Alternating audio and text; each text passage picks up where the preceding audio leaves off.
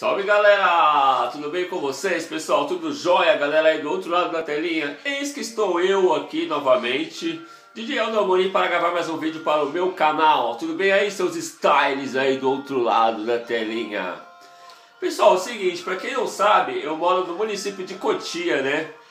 Cotia é o município da Grande São Paulo, aí com mais ou menos é...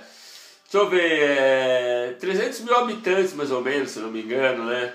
Não é muito grande. Cotia é grande em território, tá? Pra quem não sabe, né? Ele é grande em território, mas de número de habitantes não é tão grande assim, tá? Uns 300 mil habitantes, né?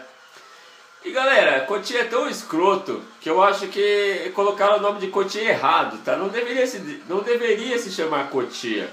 Deveria se chamar Cudatia, entendeu? Porque o município é um cu mesmo. Sabe aquela tia chata que você tem aí? Você aí do outro lado da telinha deve ter uma tia chata, né? Então, o município de Cotia é igual o cu da sua tia, tá? Deveria se chamar cu da tia, né, galera? Aqui é um município bastante arborizado, né, pessoal, né? Tem bastante árvores, né? tem bastante animais, né? Inclusive eu, né, também. E aqui tem bastante condomínio, galera. condomínio fechado de mato, tá? Só se for, né? Porque é foda, viu, meu? Cotia é um município... A gente mora aqui há 25 anos, né, galera? E é, o bairro aqui onde eu moro, né? É tão esquecido, galera, né? É tão esquecido que até o GPS esquece, esquece né, de traçar a, rota aí de quem vem pra cá, né, pessoal? É complicado demais, viu, meu, morar em Cotia, né? Claro que já foi pior, né, pessoal? Cotia, quem, quem já passou por aqui, né, sabe, né? Cotia é tão grande, galera, que começa lá no, no 18 da, da rodovia Raposo Tavares, né, sentido interior.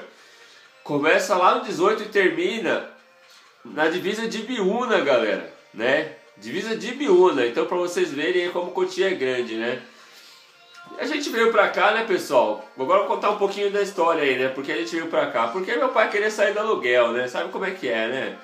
Quatro filhos para criar, né, meu? Sem dinheiro nenhum no bolso, né? É foda, né? Então, sair do aluguel, né, meu? Sabe como é que é? Tem que enfrentar aí as batalhas do dia a dia, né?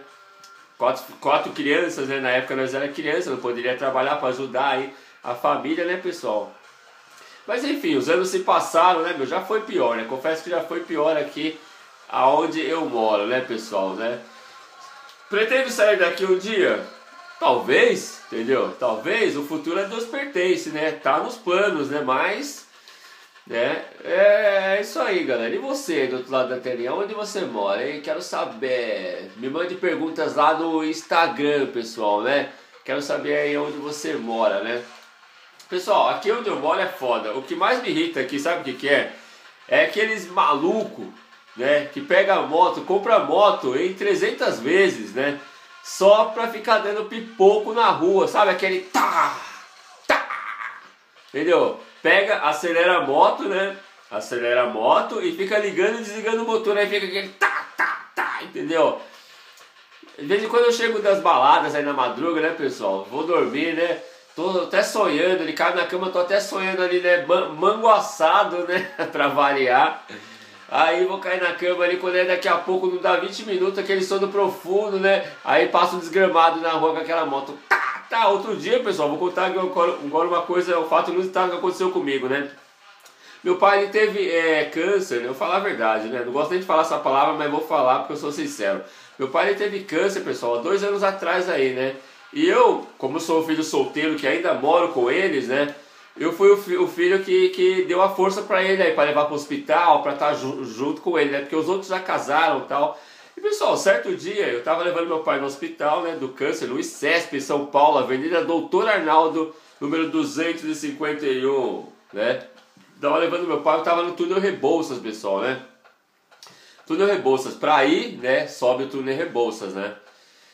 É, aliás, para voltar, desculpa, porque para ir eu ia para quem, quem conhece sabe o que eu estou falando. Para ir eu ia pela rua Teodoro Sampaio, para voltar eu, eu vinha pela Rebouças. Então eu passava no túnel Rebouças. Aí estava eu parado ali, né, com aquele trânsito infernal de São Paulo, né, cheirando aquela fumaça toda, né? Porque quem mora em São Paulo é tão privilegiado que consegue ver o ar que respira, pessoal, né? Aquela nuvem branca de ar assim, muito lindo, né? Então estava eu ali dentro do carro, né, dentro do túnel Rebouças, né, quase dormindo, né, porque foi uma maratona muito estressante aí, né, de exames lá no hospital com meu pai e tal, né, meu pai passou o dia inteiro lá fazendo exame, isso e aquilo, tomando remédio, não sei o que. Eis que na volta eu tava quase dormindo no volante, né. Claro que não pode dormir no volante, hein, se estiver com sono não dirija, tá. Se for dirigir, não beba, se for beber, me chame, tá? Eu estava ali é, dirigindo, né? Trânsito parado, né? Porque o trânsito em São Paulo não anda ali, fudendo. Aí daqui a pouco passa aquele maluco no túnel Rebouças. Pra, pra quem, né? Todo mundo sabe aí que dentro do túnel, né? Aquele pipoco de moto é igual uma bomba atômica, né, pessoal? Então, tava ali daqui a pouco. Tá! Eu, meu Deus do céu, meu. Levei um susto, pessoal.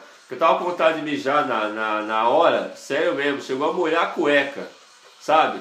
Saiu aquelas gotinhas ali, porque, né, na hora do, do susto, né, meu, é foda, né? Então, mas resumindo, voltando ao papo de cotia aí, né? Aqui também tem aquele desgramado que fica pipocando a moto por aí. O cara compra a moto em 300 vezes para ficar assustando os outros, né, meu? Vai assustar a vovó, né, meu? É. Então, pessoal, é. Cotia. Cotia é, é, é bom até morar aqui, tá? Falar a verdade, né? É bom, é bom sim, entendeu? E galera, foi um pouquinho aí, tá? Pra falar aí do município onde eu moro, tá, né? E é isso aí, mande sugestões de vídeos, galera, lá no Instagram, tá? E também na fanpage do Facebook. Pode mandar lá via mensagem, meu, via inbox lá na fanpage do Facebook, tá? Porque assim que eu, eu ver um tema legal, eu vou gravar um vídeo, tá bom? Gostou do vídeo? Dá um joinha, galera, e vamos se inscrever no meu canal, tá? O meu canal, ó, tem dicas todo dia, galera. Aí tem dica, tem entretenimento, tá? Beleza? A gente conta algumas coisas do dia a dia aí, tá? Like, like, like no vídeo, se inscreva no meu canal, me curtam na fanpage do Facebook, tá? E me sigam aí no Instagram. Valeu, galera. Forte abraço!